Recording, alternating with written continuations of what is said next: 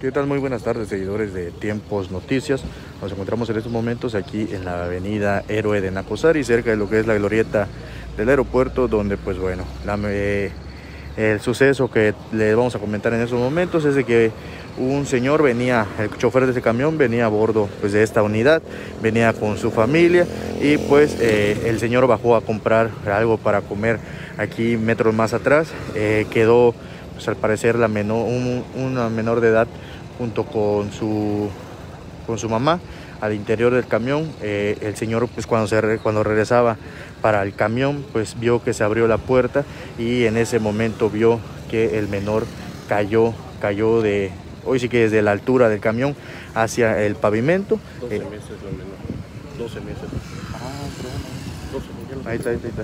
Bueno, comentan que es un menor de un año el que cayó un ciudadano pues lo vio, vio que el señor estaba desesperado, vio que el señor estaba desesperado y pues los auxilió eh, subiendo a la mamá del menor, así como también pues al bebé, eh, auxiliándolos, subiéndolos a sus vehículos y llevando llevándolos a un hospital el más cercano, en lo que pues hoy sí que ya no esperaron que vinieran los elementos de vialidad ni la ambulancia.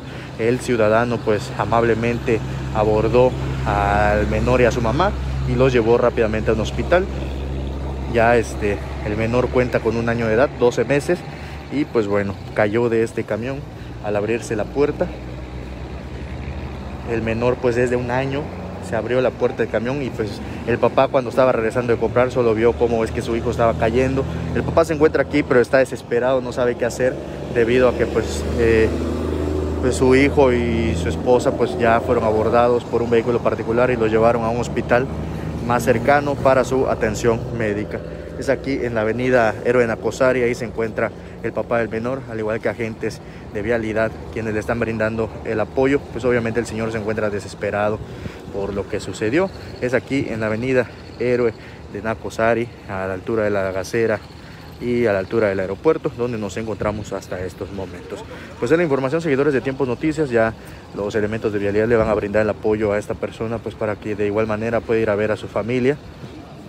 Eh, pues eh, la persona comentamos que fue abordada por un vehículo particular y lo llevaron a un hospital junto con su bebé pues para que le brinden la atención médica de urgencia. Pues aquí es información, que pase usted una excelente tarde.